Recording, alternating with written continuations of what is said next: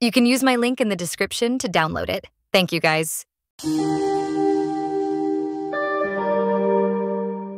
First up, go to the Flyby11's GitHub release page and download the flyscript.zip.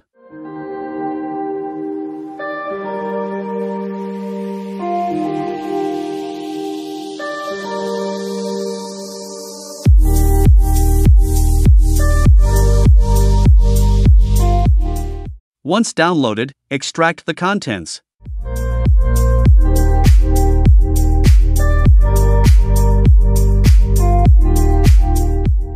Then simply run flyby11.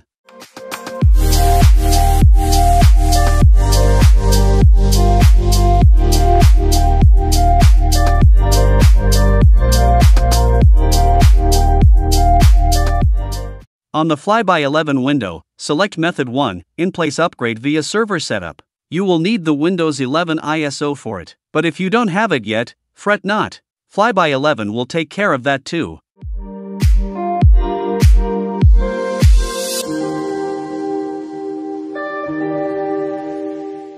In the FIDO window, click Continue to select the version, release, edition, language, and architecture.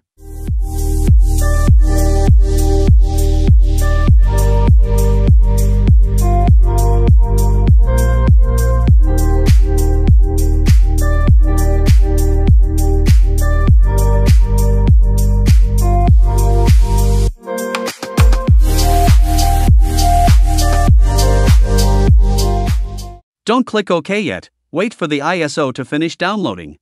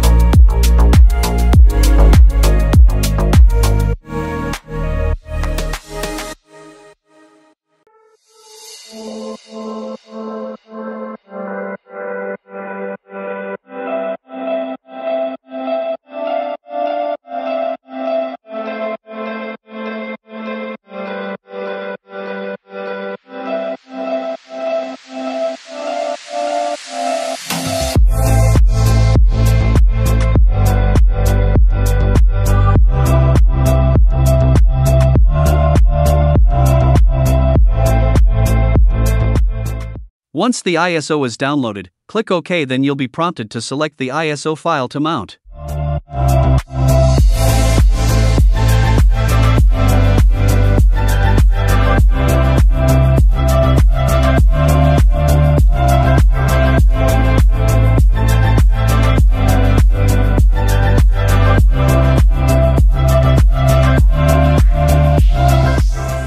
Then just go about the installation process as usual.